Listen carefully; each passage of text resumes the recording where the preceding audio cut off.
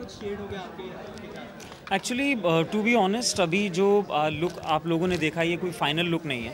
ये एक uh, बहुत ही हम लोगों ने एक इनिशियल एक एक्सरसाइज करने के लिए एक uh, बहुत ही इनिशियल स्टेजेस पे एक सिर्फ़ एक अनाउंसमेंट करने के लिए uh, ये कुछ किया है। बाकी फ़िल्म में बहुत सारे डिफरेंट लुक्स होंगे जो काफ़ी डिज़ाइन होने वाले हैं और जिसके थ्रू आप लोगों को एरा का पता चलेगा किस एरा में क्या सेटअप है। जैसा ईशा ने भी बताया कि ये फ़िल्म सिर्फ़ एक ही एरा में सेट नहीं है। यू you नो know, आपको जर्नी दिखेगी eighties to may be the current और यू नो जो भी होगा, वो आपको पता चलेगा। So look I would say काफ़ी चेंज होने वाला है अभी। तो या काफ़ी लोग कह रहे हैं कि पॉलिटिकल है तो क्या आप कोई पॉलिटिशियन का किरदार वाले नहीं, ऐसा कुछ भी नहीं है। एक्चुअली अगर पॉलिटिकल पॉलिटिकल पॉलिटिकल सटायर कुछ भी नहीं है। हर एक कहानी के अपनी एक पॉलिटिक्स होती है। हर कैरेक्टर्स की अपनी एक पॉलिटिक्स होती है तो आपको वो देखने को मिलेगी। बट आई डोंट थिंक कि आउट एंड आउट एक पॉलिटिकल सटायर है। जैसा मैंने पहले भी कहा, कुछ इंडिविजुअल्स हैं।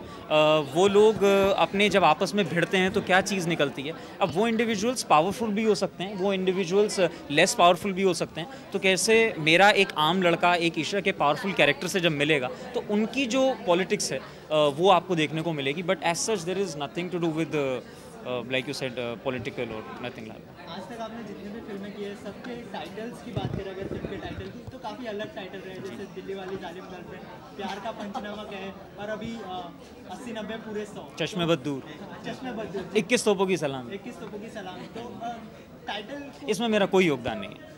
ऐसा कुछ नहीं है। मैं सिर्फ़ और सिर्फ़ स्क्रिप्ट पढ़ के डिसाइड करता हूँ। डायरेक्टर से बात करके डिसाइड करता हूँ मुझे फ़िल्म करना है कि नहीं करना है।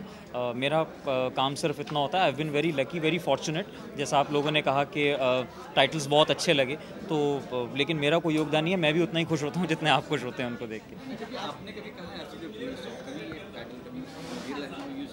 नहीं मैंने कभी नहीं। आई थिंक बचपन में जब हम लोग खेलते थे तो एक गेम होता था अस्सी नब्बे पूरे सौ सौ पे लगा धागा चोर निकल के भागा। तो वो एक बेसिक सी चीज़ है बट मुझे बहुत अच्छा लगा कि अंकुर ने जो उस फ़िल्म के डायरेक्टर ने जिस तरीके से इस चीज़ को पिरोया कैसे बचपन की एक छोटी सी चीज़ जब एक जवानी की रंजिश में बदल जाती है और जब आप ये कहते हैं कि अस्सी नब्बे पूरे सौ तो अब जो होगा अब हिसाब बराबर होगा। तो एक छोटे से बचपन की चीज़ से लेके वो चीज़ कितनी इंटेंस हो रही है और कहाँ तक पहुँच गई है वो आइडिया मुझे बेसिक बहुत अच्छा लगा। आज तक जो है आपको कॉमेडी किरदार में देखा गया है जी।